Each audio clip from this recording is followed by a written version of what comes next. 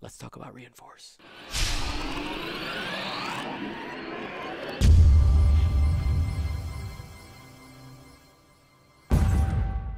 Now, if you know the rules for first edition reinforce, take those, throw them in the trash can because it's not the same. You must unlearn what you have learned. Reinforce is a token that you can take as an action on some ships. When you take the reinforce action, you have to choose either the front or the back. The game terms they use are fore or aft. Now, assuming that you're being shot by an enemy who is in front of you and you have chosen during the activation phase to reinforce the front of your ship.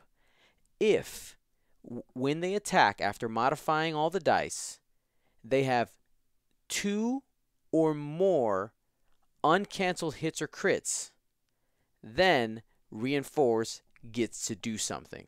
It adds a single evade result to cancel one of the two or more leftover hits or crits.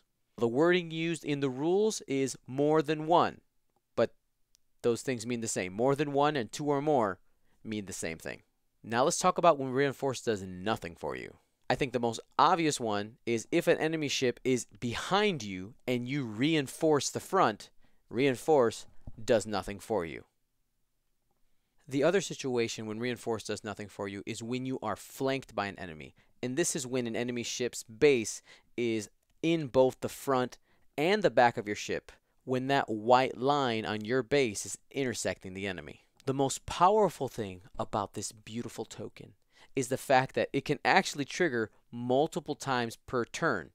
If the criteria that we talked about is met multiple times by enemy ships, meaning they are on the side that you have reinforced, and each time they attack, there are two or more uncancelled hits or crits, the reinforce activates every single time.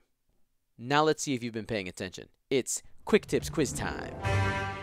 How many damage will this decimator take from the oncoming attacks?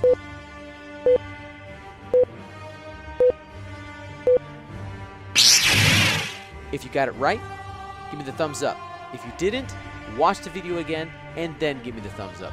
Like, subscribe, we'll talk to you later. Gold Squadron, out.